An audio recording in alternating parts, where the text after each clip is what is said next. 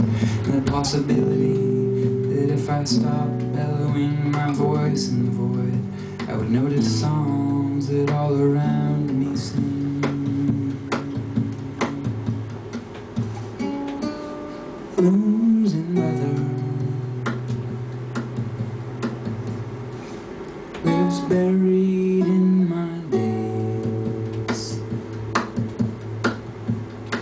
with all my songs and rhythms going. Like the darkness that surrounds the flame.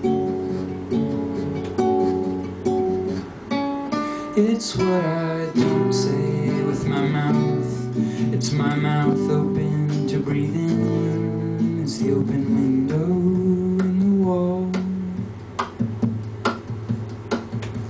still I go on.